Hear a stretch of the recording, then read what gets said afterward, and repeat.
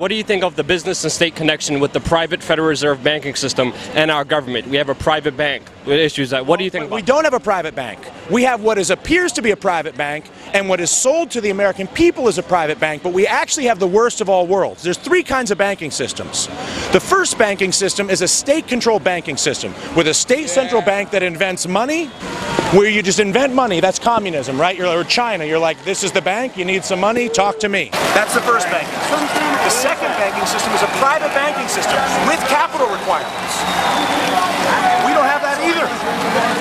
We have a system where the private banking system takes all of the profit and then all of them is created by us. It's the worst possible system. And the reason we have it is because our government is bought.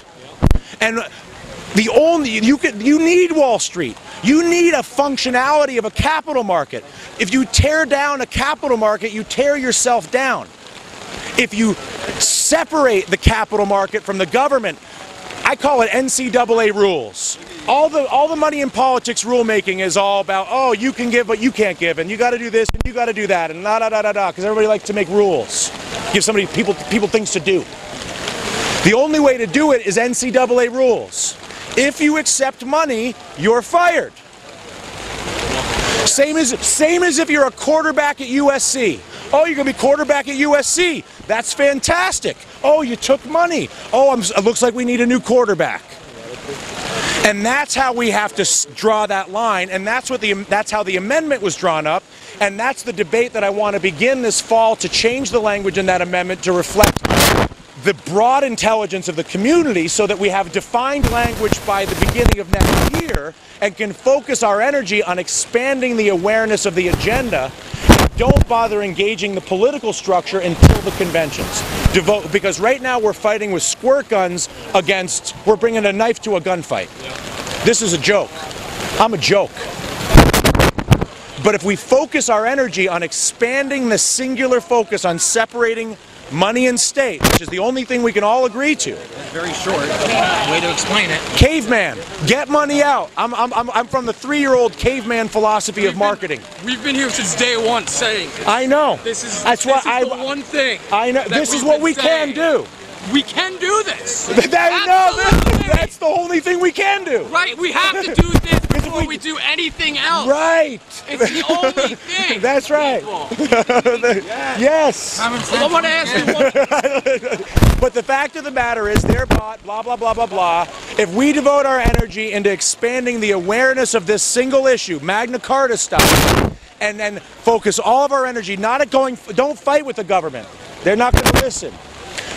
Focus on helping other people understand what you're trying to do.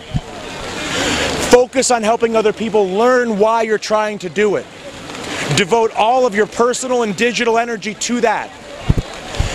The goal is to have a crowd large enough by the conventions next year that on the same day at the same time we can all send a single email to every person, in, every politician in America that just says get money out.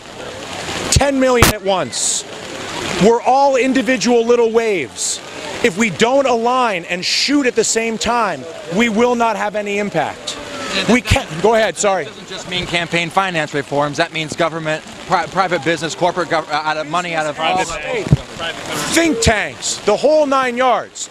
But we have to start on a constitutional level from the outside in for the simple reason that the government is incapable of doing it for their for, but I want you to have a little sympathy for the government for a second. Your politicians are wearing the equivalent of suicide vests of money. If one of the politicians tries tries to get all courageous and is like, I'm not doing this. It's like Battle Royale, if you've ever seen Battle Royale, basically. Boom! Boom! That was funny. I hope another one of those shows up. But if we create an environment with an amendment, you can get all 535 of them to take all of their suicide vests off at the same time. In fact, you can force them to. And it's one of those things where if any one of us does it at once, whoever does it will die. Politically, thank God. it's in the scheme of this world. Amendments represent the principles of the people of America. This amendment is not written as a mechanical concept. This amendment is written as a principled concept to separate business and state. I'm not looking to have a mechanical debate. I don't there are other people who know much more about many things. My job as an anchor at NBC, my job as a public as an author with Simon and Schuster is to ask questions. The reason I'm doing this is because when I asked questions for the past three years on banking, on healthcare, on energy, I could never even have the debate, Will they? Did, are you? You have? and I and I must. What's that? When you're at MSNBC, we all like to think that the, the media's control and that the censors don't allow you Right. to speak. Can you say anything about that role at MSNBC? I, I believe that it's one of those things where paranoia is right. It's, it doesn't mean you're paranoid if you're right or whatever the saying is, but at the same time, at the same time, the dominance of the fear prevents you from actually seeing what's happening. And I want you to look at what's happening. There is a traditional voice for the Democratic Party in the media. There is a traditional voice for the Republican Party in the media. But that is not the only voice in the media. My voice has been expanding for years now and is accelerating rapidly into this election with the explicit support of NBC. Give us an example of some others you think in media who, Who have are on this? ex- expanding voice outside of those two traditions. Well, I, I would say that the people that I look to right now who I think are doing the best journalism, both inside of the traditional media and bridging into the non traditional media, which are honestly going to be largely names you already know. But I think on this issue, Lawrence Lessig completely understands it. He's not a journalist, but the Rootstrikers are worth looking at. They agree with you, and they agree with me. The, you have a, a couple of people. You have you know who's shockingly into this is and, and, and open to this narrative in this debate is Martin Bashir, who's also with us at MSNBC. You, it's hard to know it from looking at it sometimes, but of all the people at Fox who is open to this narrative in this debate, Shepard Smith. Shepard Smith's like, I think the government's bought. And you're like, it is, Shepard. I don't tell you, buddy. I think they bought it. And they did. What's that?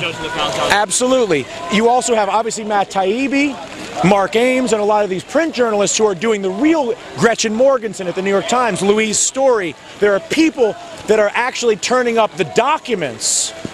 The difference, you can talk all day. The reason I have, and the reason I had the audacity to come down here and do all this is because we actually have the drafted text of an amendment.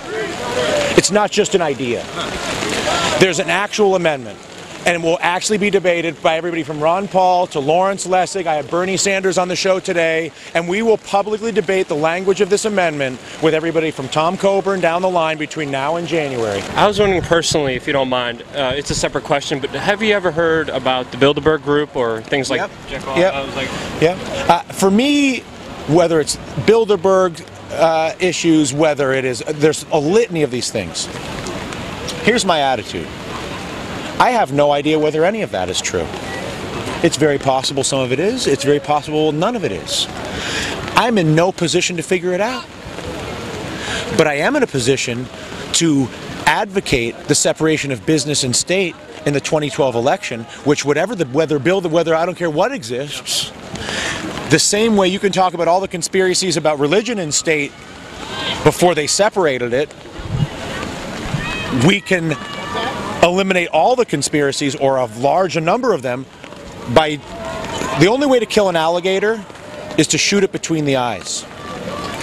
One time. Three sentences. You take money, you're fired. And that's sort of where my so when I, what I think about those, I feel like it's easy. You can only do so much with your mind, and your mind is either going to go to all the reasons why things can't happen, or all the reasons why you're getting screwed, or all the things that happened before that screwed you. And by the way, all of them can be true. You might be screwed. You probably are getting screwed with. There's 50 reasons, but that's a choice every day as to whether you're going to take the energy in your brain and say, I, I'm into this disempowerment. Problems are Poor me. Even if you have every right to be poor me for 10 reasons. The problem with that is that you can't help yourself in that state of, and when your brain, you, I- you can't do anything. Did you get the I did the poor me. I was like, I can't. And then I was like, well, what am I going to just lie on the couch and, and moan about this? We feel weakless, like we can't achieve anything, but that's the biggest lie I believe in our That political system. The biggest lie in our political system is that you don't have any power. But actually, I, you know what? That is not a lie. I'll change that. You don't have any political power. But we have all the political power. And so if we can align around principles as opposed to trying to force alignment around mechanics and ideas, you have to understand there's a there's a strategic diplomacy that exists that is a way to maintain power. You'll see it most obviously illustrated in the mapping of the Middle East after World War II. The way you maintain power is you take a group that could potentially be aligned and you shatter it. And then you just stand back and take the money. And that's what we've done in the Middle East since World War II. As long as Iran hates Iraq and Iran hates Saudi Arabia and Yemen and then and then and then and then, well, then all the Arab countries are never going to get together and be like, let's go get the, you know, you, you get it? Which that might be wise strategy short term in our self interest, but it's not wise strategy for the world in anybody's long term interest. And I believe the reason that there's a sense of disempowerment is we get because of the internet, we get so sliced into these tiny mechanical and ideological debates. Because I'll give you lists of things we all disagree on all day. Oh, we can't even begin to have any of these debates until we separate business and state. And then once you separate business and state, we can all get together and fight it out 10 ways to China, and it'll be the most fun we've ever had. And we're going to be able to update this country into a renaissance. I truly believe that, that we have never seen before because we are stuck in the 50s. We have all these resources and opportunity. And we can, the thing is, everybody's like, oh, how can you get more of this? It's going to cost more. But what we all know is that the solutions to almost every problem tend to cost 99% less and provide 99% more. That the solutions don't just give you more, the solutions that you can achieve now cost less and give you more. and that's what terrifies the greedy bastards. Is they're like, they're going to get more and it's going to cost less, and my profitability in health insurance on Wall Street in the energy business is going to get annihilated. And the fact of the matter is the same thing that happened to music with Napster when they when the industrial world watched what happened to the music industry in the 90s. They all were like, I think we're fucked. And so they're like, we're going to need to engage right now to, to alter the legal structure using money in order to preserve the incumbent structure of the business model, even though the business model no longer functions. I think it's important for us, however, to acknowledge and honor the benefit of some of those institutions in the 20th century and at the same time acknowledge with the courage and resolve that they must be transformed. Walk me through a scenario. Okay. The amendment passes. The money goes away. Right. There's a massive debate. Right. What are we going to do? Of course. Holy shit. Let's pass this amendment. Now we're really fucked. Right? That's my that's what my goal is I want to force the debate. Because if you don't force the debate, you can't get to an answer. And then at that point, you can Right. Ultimately solve the problem. In things like you, this. I mean, and that's a difference of opinion. I, I you make great I- points, I- and I I think that- thought I think the about pro- this. Do you think I'm wrong? Yes, Tell me. Because the problem is, the first question that they ask is, Yep. what do we do to change the paradigm? And so if you don't have an answer for I that, do have an answer. okay, well that's what they need. Pass a constitutional amendment to separate money and politics. Once you pass that amendment, you have begun a cascade of resolution that will resolve itself. I could see one. But if you don't begin, if, if, for my argument is this: money in politics is like grandpa's got a drinking problem. And you're like, Grandpa's gonna lose the house. The kids hate Grandpa. The house just burned down. He lost his driver's license. You're like, I gotta get him his license back. I gotta get him a new house. We gotta get the kids back. Yes, yes, yes. But if you don't get Grandpa to stop drinking a bottle of whiskey every every night, none of those other things is going to happen. And I argue that the that that that amendment represents the intervention, if you will, to stop the drinking, which will then force an honest inventory of the situation and then and initiate Now you have a great that debate. to- The reason I came to this is I was like, I can't sit here on MSNBC and just do this presidential election playing Romney, Perry, Obama for the next year. I'm gonna. That's awesome. so I'm like, it's pro wrestling.